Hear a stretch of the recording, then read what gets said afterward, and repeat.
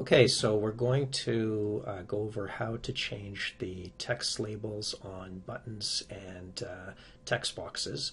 So here we have a simple GUI layout uh, with just a text box and a button and as you can see there's um, there's a, a, label here of enter a message and on the button is send. so what we're going to do is we're going to update those labels. So first of all, this layout is in here, is in this activity main XML file. But the values are actually from this strings XML file, which is inside this values folder. So if we go into the strings value folder, we can, for instance, update. Uh, if you if you look at this value here, button send, this is what's actually used for the button value. So if we update this to, let's say, send to, and uh, edit message to enter message to, and now if we go back to, and we save that, we go back to activity main XML. So as you can see, um, they've been changed. And when we run this application, it's going to update that as well. So that's one way to change it. The other way to change it is to create new XML keys um, and have these reference those new XML um, keys. So I'm going to show how to do that right now. So for instance, if we go back to string strings XML, so let's say we don't want to use the button send key and we don't want to use the edit message key. We want to create another one. So what we can do is we create new values. So we can either do it right here in the XML directly or we can do this uh, little editor here, which is right here.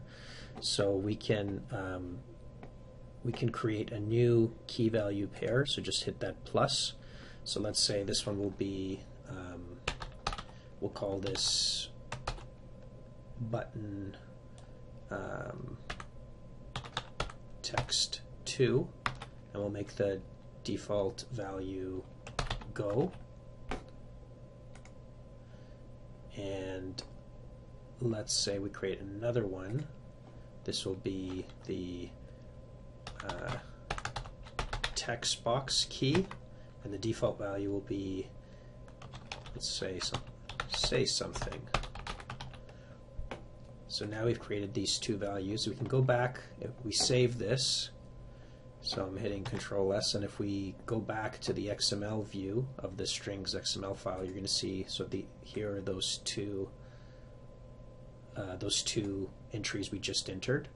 And now what we're going to do is we're going to reference these two entries in our GUI layout. So button text 2 and text box. So if we go back to activity main XML and we click on the text box, so then we scroll down to where it says hint and we click on that the uh, dot dot dot there.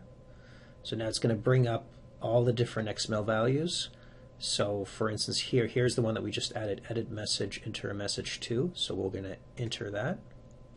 And then we're going to click on the button and we're and then we're going to look for the text the text uh, attribute and we're going to click on the ellipse there and then we're going to say right here text box say something